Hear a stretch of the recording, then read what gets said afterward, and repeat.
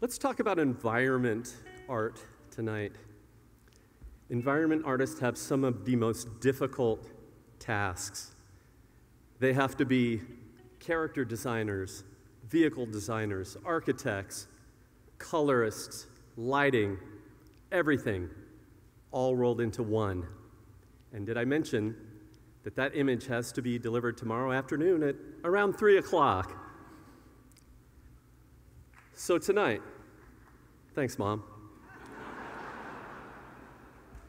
so tonight, the nominees for live action series environment are The Mural of Souls Foundation by Henry Fong, Realm of the Dead Moon Knight by Dave Freeman, Trantor Library Foundation by Wayne Haag, Leia's Bedroom, Obi-Wan Kenobi by Michael Scheffels.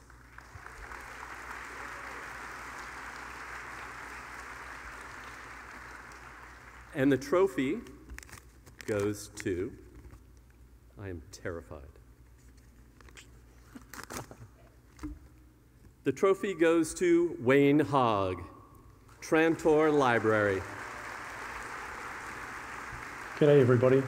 My name is Wayne Haag. I'd just like to say thank you very much for the nomination.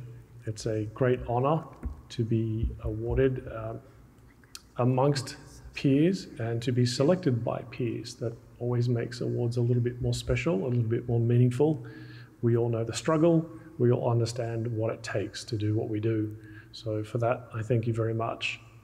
And uh, greetings from Sydney, Australia. Thank you again.